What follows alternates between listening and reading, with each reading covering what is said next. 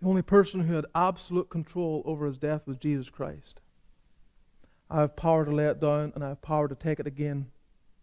When he was on that cross, we read he bowed his head and gave up the whole ghost. He didn't droop, it didn't droop or fall. He bowed his head. He stepped into death, completely in control of the very moment at which he would depart life.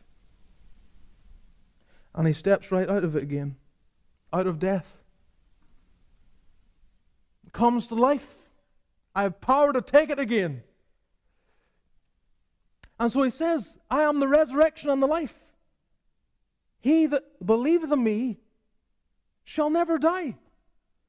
And so Paul goes into the city and goes into other areas and he preaches this message of one who has power over death because he has risen from the dead by an act of his own will. And that brings such hope that no other religion can match. And those that are listening properly, they're thinking, wow, what is this? And they're drawn in, and the Spirit works, and they're converted.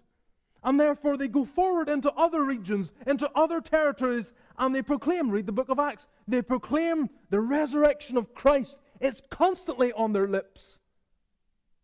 The Son of God lived, died, and rose again.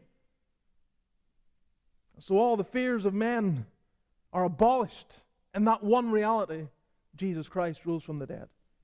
If he did that, he can do anything.